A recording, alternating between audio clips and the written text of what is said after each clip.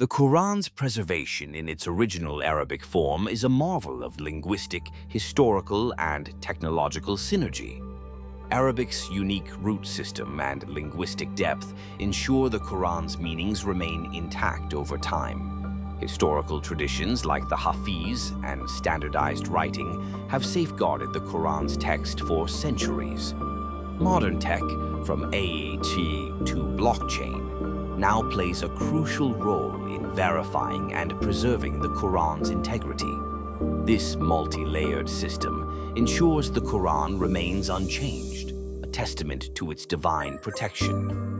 Unchanged for 14 centuries, the Quran retains its meaning like a mathematical formula, along with the root system of Arabic. In Topkapi Palace, every point on the Prophet Osman's Mus'haf is the same as the Quran, Blockchain makes the Quran the first book of the digital age to be protected from tampering, which means it cannot be hacked, but rather protected. As the Sana'a manuscripts in Yemen are carbon tested, laboratory images confirm the authenticity of the Quran with science. Could these examples be the story of a miracle preserved by the memory of more or less 2 billion people and the power of technology? Stay tuned with science and high tech